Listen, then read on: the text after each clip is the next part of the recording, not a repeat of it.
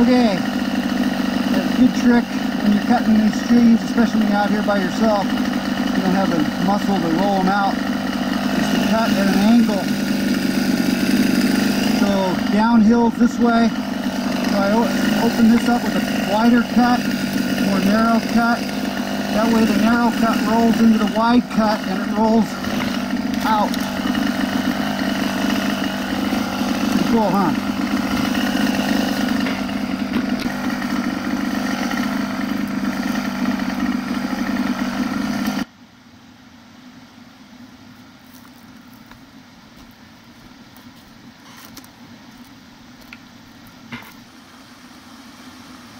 So just took a few minutes to cut that out. Had a chainsaw, so my day is not over.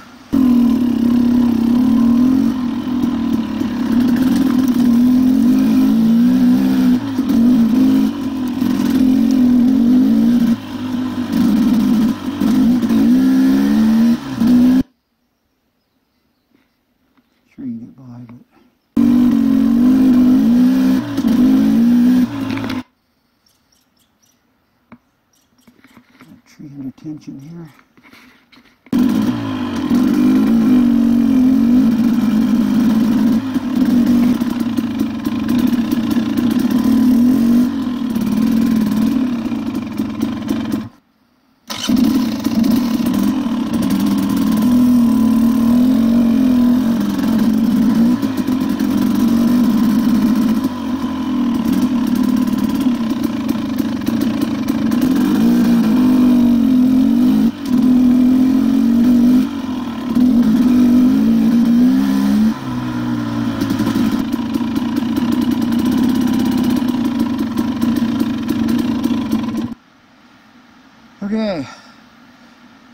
drop. So when I cut this, the downslope side is going to go up big time. And the upslope side is going to drop.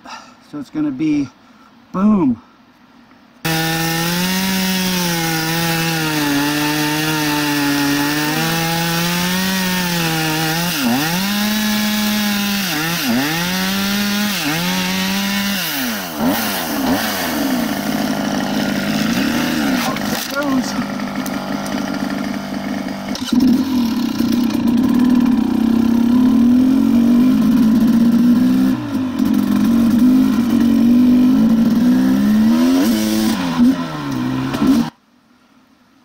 Okay, whenever we ride up on a section to be cleared, always look around for safety stuff.